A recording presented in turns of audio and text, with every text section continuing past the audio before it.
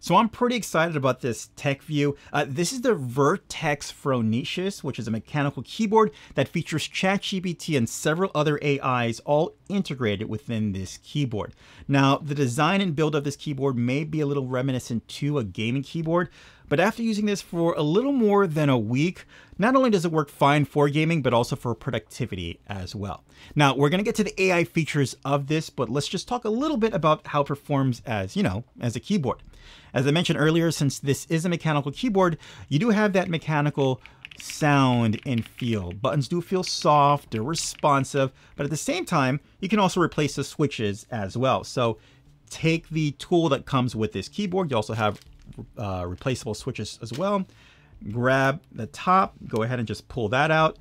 Grab the switch as well and pull that out and there you go. So for some reason your keyboard, the switches wear out over time or you just want to upgrade them or whatever, you have that flexibility right there. And what's really cool is that these switches, they only go in one way. So I can just lay it back on top. Oh boy, I messed that one up. I'll just lay it there. Make sure it's secure and then put my key back on. Now you may have noticed that this keyboard is RGB and there are several different RGB effects from rainbow pattern, gradient pattern, also a responsive pattern. You're gonna press the function and the button on top of the enter button and you'll go ahead and just cycle through the different keys until you get find a one that you like. Now, of course, like I said, uh, there are some reactive uh, light effects, but of course it just mainly is just cycling. Pick the one that you feel comfortable sticking with. You can also connect this to your Mac or your PC three different ways. There's Bluetooth, a USB dongle, and also USB, direct USB connection. Right now I have this connected to my laptop through Bluetooth. If I switch the switch all the way to my left, I now have, well, I have the dongle connected to my PC back here and you can see the switch going back up and down right there. We can go ahead and switch it right back to Bluetooth for my laptop. But the middle is that's where you can go ahead and plug in the USB wire and have, you can either charge it or have that direct wired connection with your keyboard to your Mac or PC. Now, like any keyboard, it's gotta feel comfortable, right? You want your hands to feel nice and you want your wrist to feel achy. Well, you do have a two-tier kickstand for your key keyboard. Me personally, I like it by default the way it is. It's thick enough, it's flat enough, works fine for me.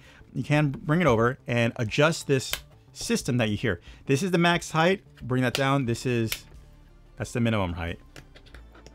And max height right there. So go ahead, adjust that. There's two, you have two on the side. So go ahead and find the angle that's right for you.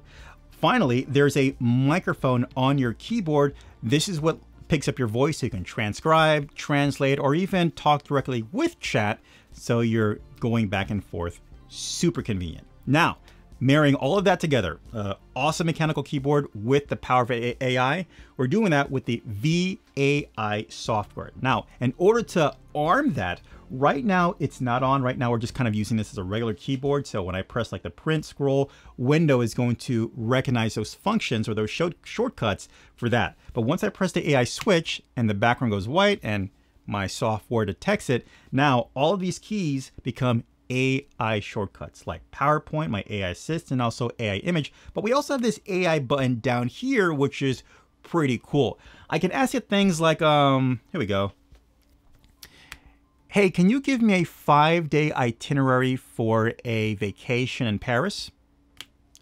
Once I let go, it'll see my question and it'll give me an automatic response.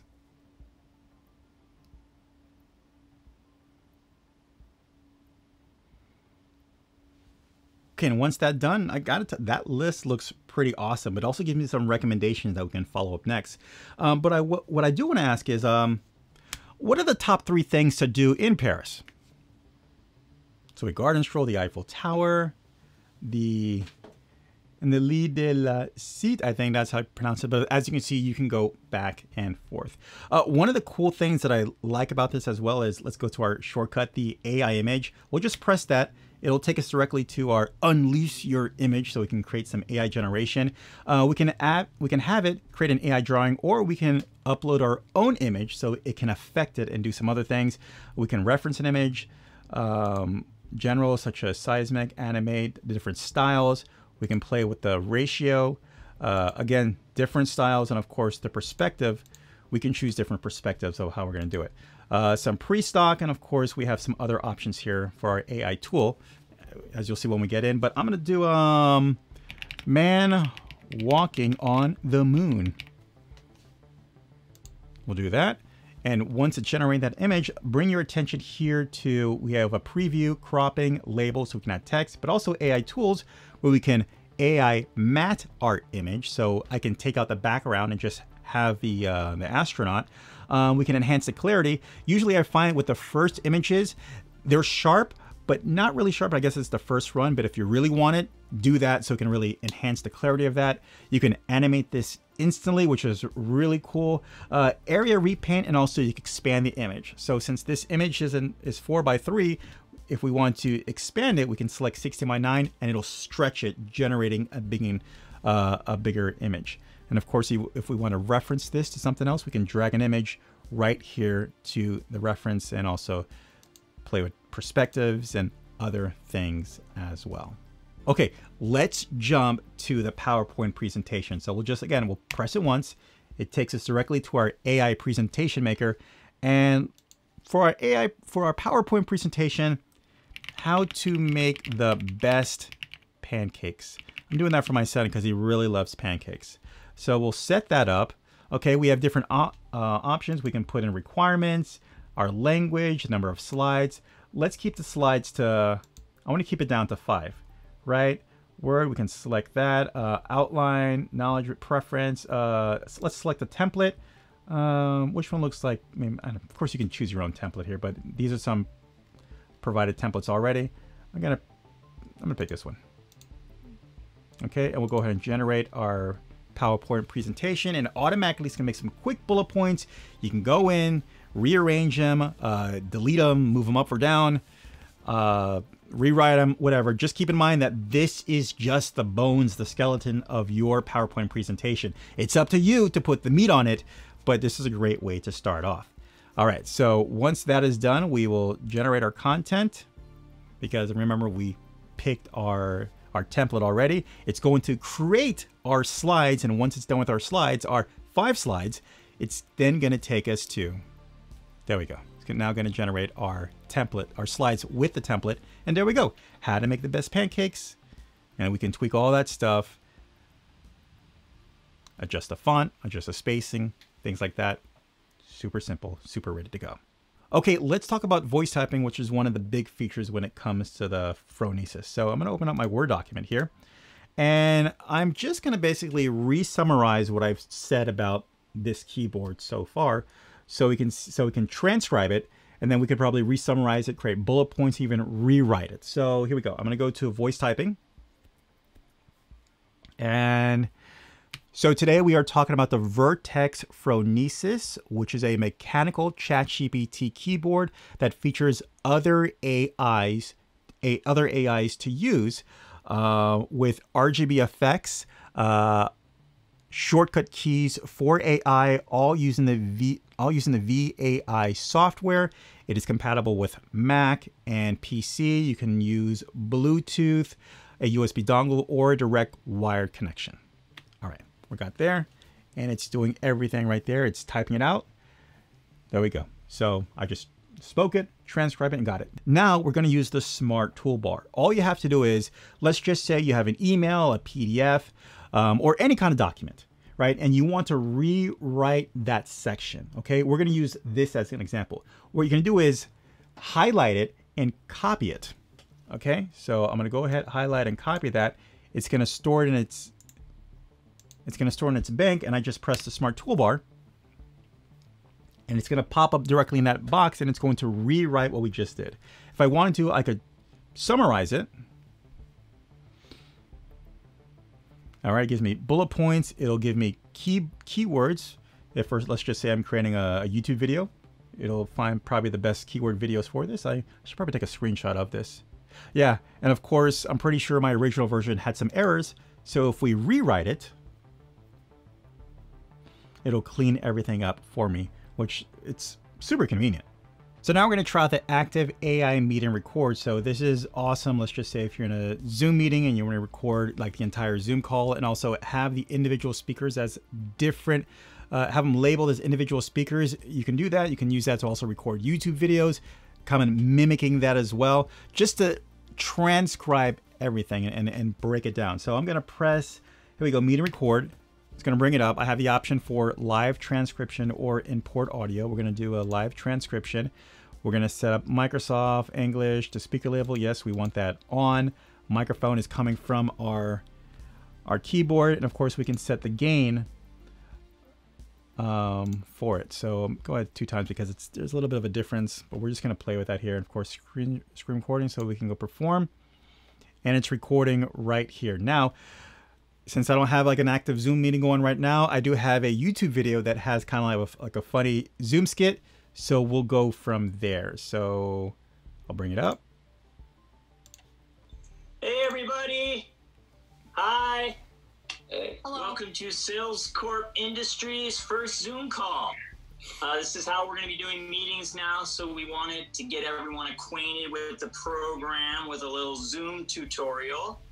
On the call today, we got Brian from sales. Oh man, it's so good to see everybody. At a safe distance, that is. yeah. Uh, we got Crystal from market research. Uh, sorry, my place is such a wreck. Uh, anybody up to anything fun at home? Well, mainly like. Okay, so we'll pause right there, and you can see that it's picked up to five different speakers. So we'll stop the recording Okay, and here we can actually get a full text overview, a chapter outline. Um, we can, it's asked me, you can ask me to do these things so we can set up some different parameters of what we want to do next. Uh, here we go. There's a summary. It'll summarize everything that we're going here. A, a Zoom meeting tutorial skit summary.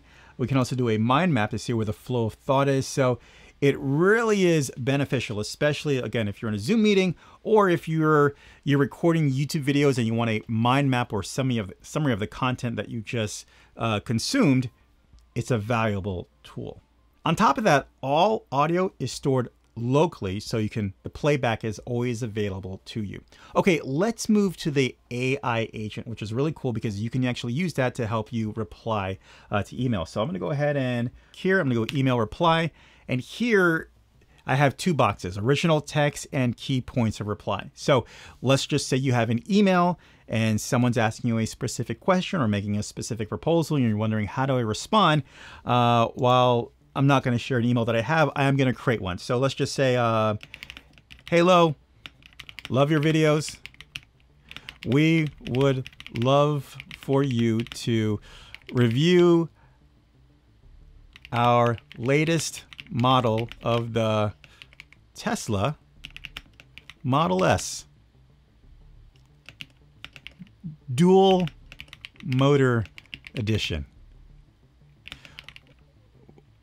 Would love to hear back from you. Can't wait. You know, a guy can wish, all right? Okay, so here we go. So we're gonna go to points reply, and I'm like, okay, so how do I how do I want to reply? Um, what is the criteria for the review. These are the things that I want to respond with. I know I'm spelling that wrong. Um, what else? Um, do I have to return to Tesla? uh, and also, um, what else? Okay. Are there any strings attached?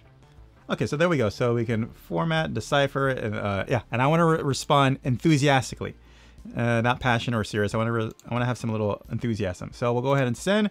And right here it says, "Okay, I understand." Here's a reply email.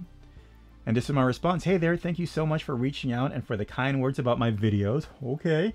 Uh, I'm definitely excited about the possibility of reviewing the latest Tesla Model S motor uh, dual motor edition. Sounds amazing. Okay, this is a really long uh, response. To make sure I can give it a thorough and fair review, could you clarify a few things about the, the criteria that you're looking for in the review? Knowing that what aspects you'd like to me to focus on and what would you super helpful that would be super helpful. Also I'd like to confirm the Tesla needs to return after review period. Finally, are, are there any specific conditions or strings attached to the review? And there we go. And I can copy, export that, or I can regenerate regenerate it. Uh, the options there. And there is just so much else that we haven't gotten to. You know, again, there are you have so many different shortcuts here for your AI. If we take a closer look here, we have our main page uh, that we can create a new session, the AI reading, uh, general reading, meeting summary, summary paper, or screen, uh, screening your resume, AI writing with so many different options. Again, the PowerPoint presentation, the image, the AI meeting, as we saw before. We have an AI agent, which is the hotkeys right here. We have our info, our history. You can view it all. Of course, we have settings and notes that we can do right there. Okay. Oh, and also last thing, um, you do have the option. Let me go back here. I mentioned that there were several AIs to choose from. Here you go, ChatGPT 4, Gemini, DeepSeek, and also updated version ones. Uh, also up for also updated versions as well. Uh, you can also go for the upgrade to the Plus, which gives you access to the more advanced models of ChatGPT and Gemini. Um, you have more tools to work with. Of course, you, it's a it's a monthly rate, so you can see if that makes sense to you. Uh, but definitely, this this is pretty cool, and I love how everything is in, integrated all together. All right, let me share with you my final thoughts. Um, first, as a keyboard, it's a solid keyboard. Mechanical keyboard, switch it out. RGB effects, I like it. If I had to say one thing, me personally, I wish I had a keypad, I, uh, a number keyboard. I'm so used to a, a number keypad, and I found myself like, um, it's not there. Outside of that, it works just fine.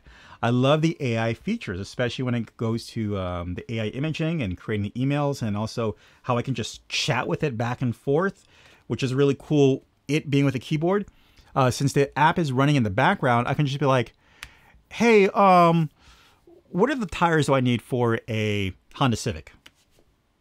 And it'll just be come up. You know, I'm, I'm just thinking right there. There's no additional typing or anything like that. I'm just I'm just asking it, and I'm good to go. And it's all integrated, either when I'm using this on my laptop or on my PC. Overall, excited about this. Check it out. You can go ahead and support them on Kickstarter. This is going to be really cool. All right. Hope this video helped you out. Take care.